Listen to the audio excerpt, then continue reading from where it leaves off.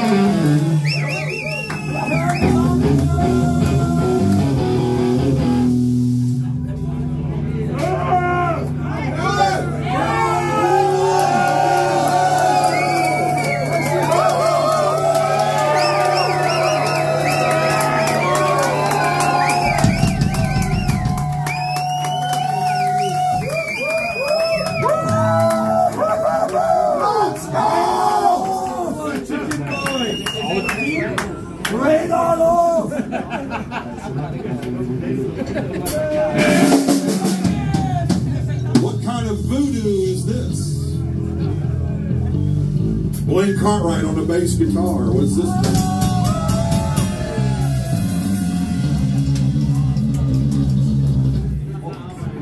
Most of our songs are true stories about the people, places, and things that we know. This is a song about a friend of ours in Austin, Texas. This was called Billy Lost His Feet.